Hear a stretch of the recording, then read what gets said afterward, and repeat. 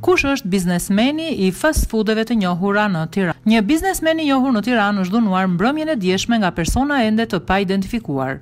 Ngjarja ka ndodhur në orët e vona të mbrëmjes në rrugën Merdar Shtylla në komunën e Parisit, afër banesës së tij.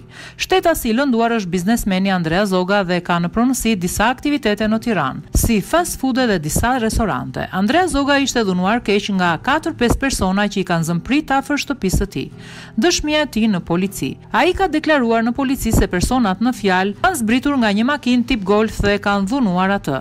Siç mund ta shihni dhe nga fotot, biznesmeni ka marrë plagë në trup dhe kokë dhe është dërguar menjëherë në spitalin e traumës.